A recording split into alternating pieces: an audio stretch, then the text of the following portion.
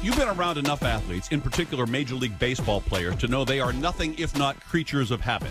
And I don't care that Michael Wacha tweeted from the airplane as they sat on the tarmac for seven hours the following. Nobody's in a bad mood or anything like that. The attitude is pretty good. That has to have some sort of, I don't believe him. I think, you know, everybody's kind of surly sitting there seven hours on the tarmac. What kind of effect do you think that kind of delay, that kind of breaking of the routine might play tonight?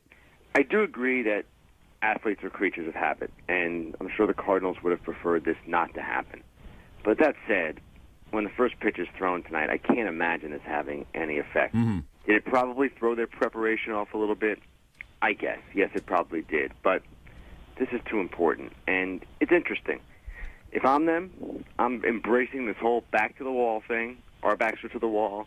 Embracing the look at this, we couldn't even get our flight on time. Nobody believes in us. The typical cliched stuff that unfortunately often works. And I go from there. I, I'm the Red Sox in 2004 against the Yankees in my head. Right. And, they've been and great in elimination games and kind of kind of clutch. I think they look in the mirror and see. Well, Matheny looks in the mirror and sees a model, but uh, the rest of them look in the mirror and they see a clutch team. You're right. They see a, a Red Sox of 2004. But tell me this, Kenny. Anything different tonight? We know Gomes is going to be in left, and uh, Victorino goes to right, and and uh, and Nava sits down. We expect Craig to DH Adams at first. Everything uh, go as expected, as far as you know. Yes. The only thing that I'm curious about is whether they go with Beltran in the cleanup spot again, or return him to the second spot.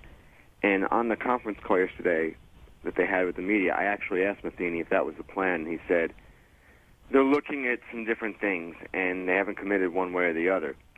Obviously, they need to get something going, and ultimately the order doesn't matter all that much, but you might want to put Beltran back in the two spot to get him into the game earlier and just get this team jump started again. I'm not sure that would do it, but I would consider that strongly. Have you seen any cracks, any flaws in Wacha at all? I know we all just kind of jumped on the Wacha bandwagon of late, most of us. Um, and we know he's undefeated in the postseason, and he's just uh, his ERA is under three in his last, uh, under one in his last three starts. Uh, is he vulnerable at all in your mind, Ken? It's hard to say that he is right now, based on those numbers and based on just what he's done. The rap against him has been his lack of a breaking ball, and yet he has shown that increasingly as the season's gone on, and even in the postseason it's not a big pitch for him. The fastball changeup combination is what makes him go, but he's even done that with the curveball now. So, no, I have not seen anything that leads me to believe this guy's not going to be very good tonight. The advantage for the Red Sox, if there is one, is that they've now seen him once, and that can be an advantage. But I don't expect Wacha to be anything less than really good. The question is how good Lackey will be, and just if the Cardinals' offense again ignites. So Ken, tonight, let's say, you know, first inning is an out, Pedroia doubles, first base is open, Ortiz comes up. What is Matheny going to do in that spot? To me, the choice is obvious. It's been obvious really since game one. You walk him, and I understand that Adam Wainwright is a really good pitcher, and he doesn't like to put people on base. And my goodness, you're Adam Wainwright. You can get David Ortiz out. But the way Ortiz is going right now, why would you do this?